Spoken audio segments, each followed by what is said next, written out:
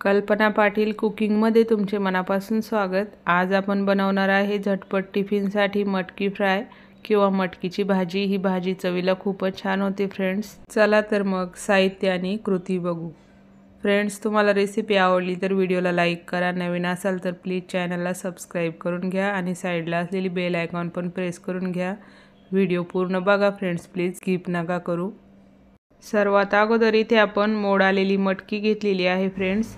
ही मटकी आपण घरीच मोड आणलेली आहे. एक दिवस भिजत घातली होती आणि नंतर चाळणीत काढून ठेवली होती मी. छान अशी मोड आलेली आहे. आता आपण फोडणीची तयारी करून घेऊ. त्यासाठी आपण गॅस ऑन करून कढई ठेवून घेतलेली आहे. कढईमध्ये आपण आता एक ते दीड पळी तेल घालून घेऊ. तेल छान गरम झालेलं आहे. आता आपण अर्धा चम्मच जिरं घालून घेऊ.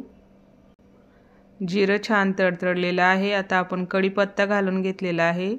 सात आठ कढीपत्त्याची पानं घातलेली आहे आपण. कढीपत्ता पण छान तेलात आपण परतवून घेतलेला आहे. आता आपण एक मीडियम साईजचा कांदा कट केलेला घातलेला आहे. कांदा पण आपण आता छान असा हलकासा सोनेरी रंग येईपर्यंत परतवून घेऊ. आणि त्यासोबतच आपण पाच सहा लसणाच्या पाकळ्या ठेचून घेतलेल्या आहे. त्या पण मी घालून घेतलेल्या आहे. लसूण पण आपण आता कांद्यासोबत छान परतवून घेऊ. तुम्ही बघू शकता कांदा लसूण छान परतलेला आहे. आता आपण चार पाच हिरव्या मिरच्या कट करून घातलेल्या आहे. मिरची तुम्ही तुमच्या आवडीनुसार घालू शकता. मिरची पण आपण आता परतवून घेऊ. सर्व साहित्य छान परतलेलं आहे. आता आपण थोडासा हिंग घालून घेऊ.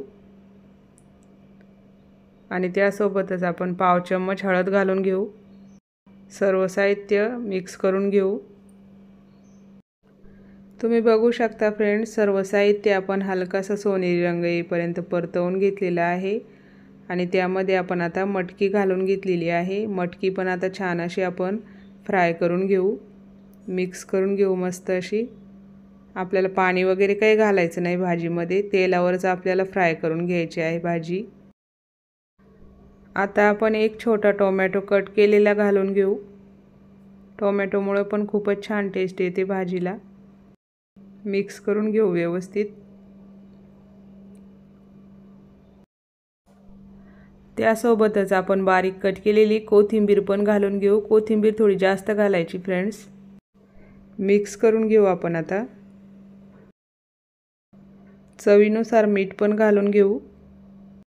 मीठ घातल्यानंतर आपण भाजी छान अशी मिक्स करून घेऊ फ्रेंड्स तुम्ही बघू शकता भाजी किती छान दिसत आहे. भाजी आपण दोन तीन मिनटं अशीच फ्राय करून घेऊ आता. दोन तीन मिनटानंतर आपण अर्धी वाटी ओलं खोबरं किसलेलं घेतलेलं आहे ते घालून घेऊ. खोबऱ्याऐवजी तुम्ही शेंगदाण्याचा कूट पण घालू शकता फ्रेंड्स. पण ओलं खोबरं घातल्यामुळे खूपच छान टेस्ट येते भाजीला. या पद्धतीत तुम्ही एकदा नक्की ट्राय करून बघा. खूपच छान भाजी होते. लहान मुलांना पण खूप आवडते. आता आपण झाकण ठेवून दोन तीन मिनिट भाजी छान वाफवून घेऊ फ्रेंड्स. भाजी वाफवताना आपल्याला गॅसची फ्लेम लो किंवा मीडियमच ठेवायची आहे.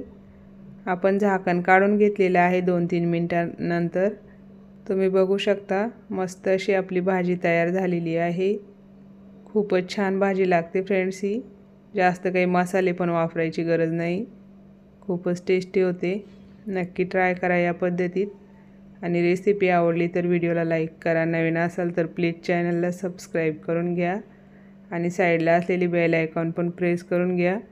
व्हिडिओ तुमच्या फ्रेंड्स नातेवाईकांमध्ये शेअर पण करा फ्रेंड्स व्हिडिओ पूर्ण बघितल्याबद्दल तुमचे मनापासून धन्यवाद. चला तर मग भेटू नवीन रेसिपीमध्ये